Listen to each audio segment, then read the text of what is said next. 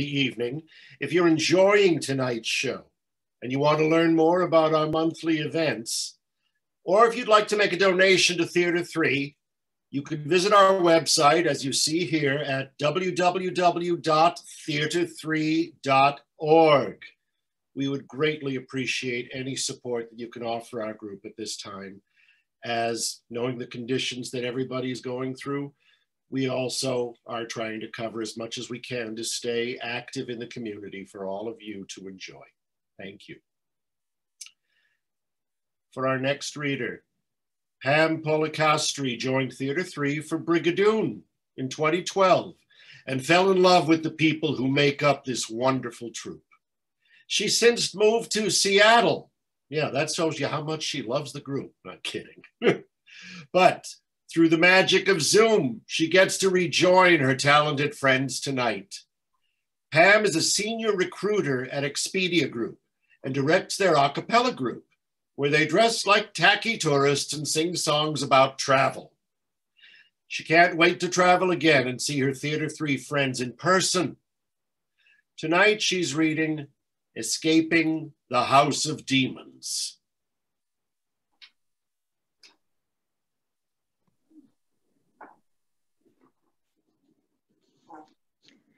Escaping the house of demons.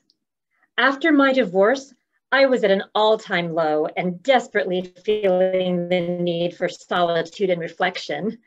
Not having the accessible funds for a getaway, I had a work friend graciously offer her stone cottage in the woods. Being a two hour drive away, it was a welcome retreat, and I thanked her profusely for the opportunity to escape. Before I left, she dropped by to give me the keys. I was surprised to see her quite nervous as she handed them over. I asked her if she was okay, and she turned around before getting in her car and uh, pursed her lips like she was conflicted.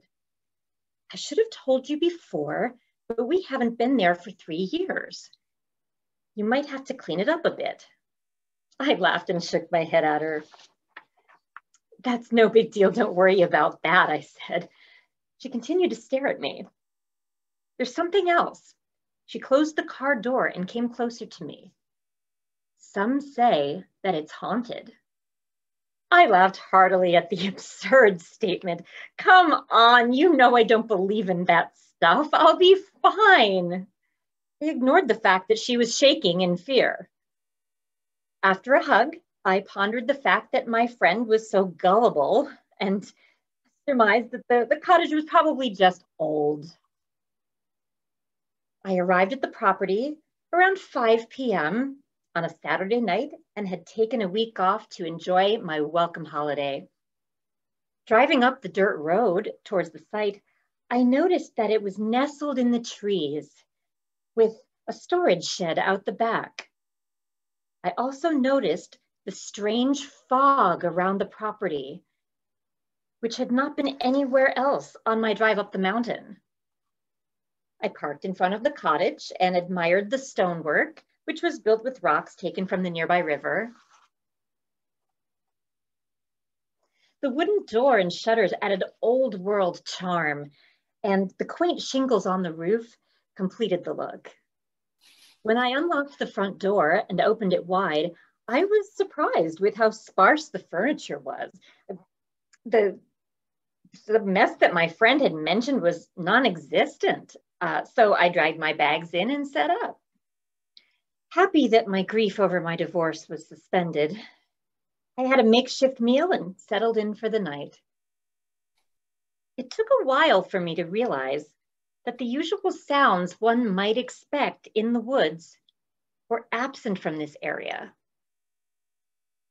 As I lay in bed, wondering why everything was so quiet, I heard soft footsteps coming from the main room. As I lay in bed, I saw dark shadows next, peering under the crack in the door, while the footsteps multiplied and raced faster. I sat up and watched the, the flickering shadows like black fire coming from the other room. The footsteps got louder. Getting out of bed, I took a step toward the door, but stopped when it slowly started opening on its own.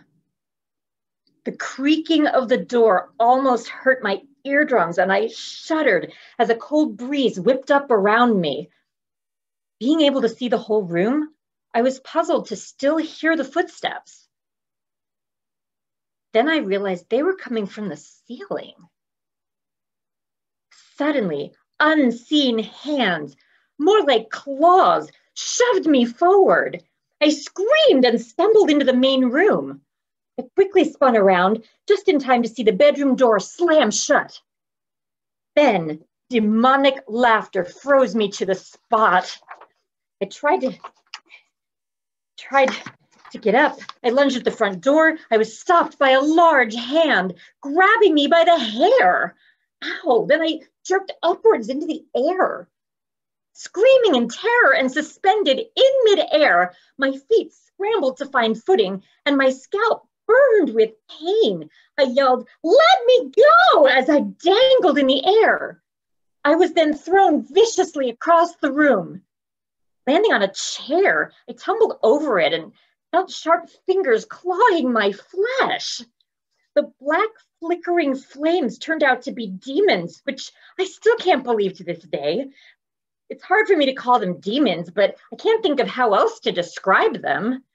They had evil red eyes. I yelled in a rage, What do you want?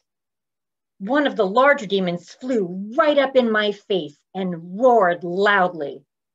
At first, I didn't understand the words as I was distracted by the stench and the icy cold blasts coming from its mouth. I realized that the cold was actually fire, that it was so hot it became a searing chill straight from hell.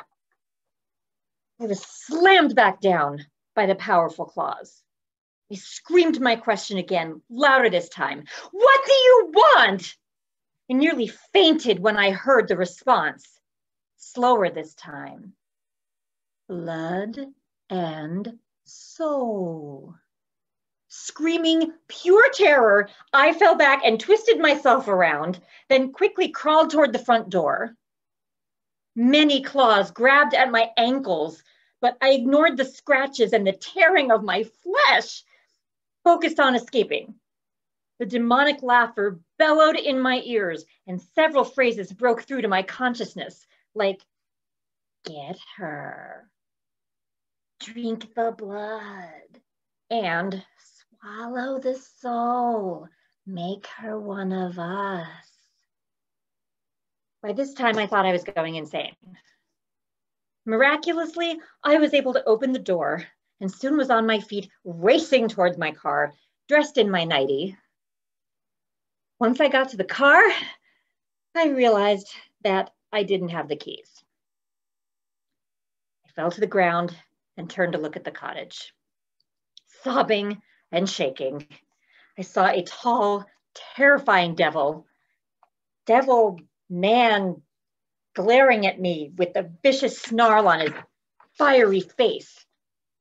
For some reason, he wouldn't step over the threshold, so I crept over to the other side of the car and waited. The next thing I knew, it was early the following morning. I was freezing and my teeth were chattering. I slowly stood up and looked over at the cottage. The door was still open, but the demon wasn't there anymore. Even though I was freezing, I crept up the stair steps and peered into the cottage. The furniture was smashed and upended. Keeping my eyes on my purse and suitcase, I ran in as fast as I could and snatched them up and ran for the door. As I approached the threshold, I heard a dark chuckle from somewhere in the cottage as a hand grabbed my hair. Not wanting to do a repeat performance, I surged forward and felt a clump of hair being ripped from my scalp. I ran to the car, threw my bags in, not even bothering to get dressed. I felt a trickle of blood down my neck. It took ages for me to get the car started, and I sobbed loudly, even though my anger was building to fever pitch. When the car finally started, I planted my foot on the accelerator and I roared away from the cottage. Reaching around to feel the blood on my neck, I was baffled to find that nothing was there. My scalp was intact. I still have no idea what happened that day, but I'm sure I didn't hallucinate the demons and their terrifying attack. They didn't get my blood or my soul.